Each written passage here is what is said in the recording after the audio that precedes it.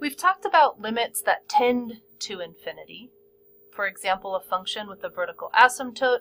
As we approach the vertical asymptote, maybe the function behavior tends to positive infinity. But what about limits where we allow the input variable x to approach infinity? And then we ask the question of what's the function behavior? Let's take a look at the function 1 over x. If we want to know what's the function behavior as we allow x to approach infinity, we can visualize it on the graph. Watching a point travel towards positive infinity, we see that we start off above the x-axis and we inch closer and closer to that x-axis as we travel further to the right. And we can ask about x traveling towards negative infinity and how that function behavior behaves. We see that we start below the x-axis and we inch closer and closer to the x-axis from below as we travel towards the left. Now something to note here is that when we talk about a limit where x is approaching positive infinity, this is technically a one-sided limit. I can't approach positive infinity from both sides. It's just not possible. So it's technically a left-sided limit.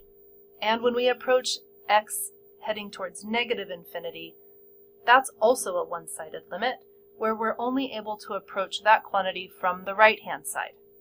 You don't see those notations pop up for limits at infinity because it's implied. So it looks technically like we're using notation for a two-sided limit, but because we know that infinity can only be approached from one side, it's implied that it's a one-sided limit. Now talking about this function 1 over x, we were able to determine that the function behavior is leveling off at a function value of 0.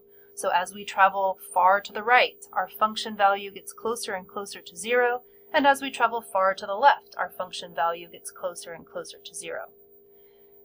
Each of these limits is tending to the same value, zero, but they are coming from opposite sides of the x-axis.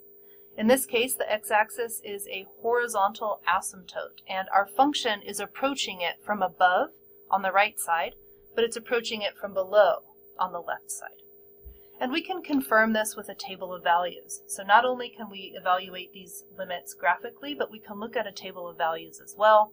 We pick values of x that grow very quickly, for example 10, 100, 1000, 10,000. And then we look at the function outputs. Notice that it starts off at 0.1 and then it gets even smaller as we move towards the right. Similarly, for the a limit where x is going to negative infinity, we pick values that get negative very quickly. So negative 10, negative 100, negative 1000, and negative 10,000. And looking at the corresponding function outputs, as we let x get closer and closer to negative infinity, our function outputs are becoming closer and closer to zero. They're all negative, telling us that it's below the x-axis, but it's still getting closer and closer to zero. Now that we know how the function 1 over x behaves as we allow our x to approach positive or negative infinity, we can evaluate limits that involve these terms. We're looking at the function 5 minus 2 divided by x squared, and we'd like to evaluate the limit where x goes to positive infinity, and then again where x goes to negative infinity. First thing that we want to do is rewrite our function so that we can see the 1 over x factor. So instead of 2 divided by x squared, we're going to rewrite that as 2 times the quantity 1 over x raised to the power of 2. That way we can apply our limit laws and then we can see the limit of x traveling towards infinity for the function 1 over x, what we just discussed. Evaluating each of these limits, we see that we have a limit of a constant. We know that limits of constants are equal to that constant. It doesn't matter where x is heading, so that limit's equal to the constant 5. The other limit involves that function 1 over x. We know that as x is traveling towards positive infinity, that function is tending to 0. So the second limit would be 2 times 0 squared. And if we combine these using the difference, since our limits were being subtracted from each other, we would have 5 minus 0. So our limit for this function as x goes to positive infinity is equal to 5. What about if we were traveling to negative infinity? The process is almost identical. Start by rewriting the term so that we can see 1 over x, apply our limit laws, and then evaluate the limits one at a time.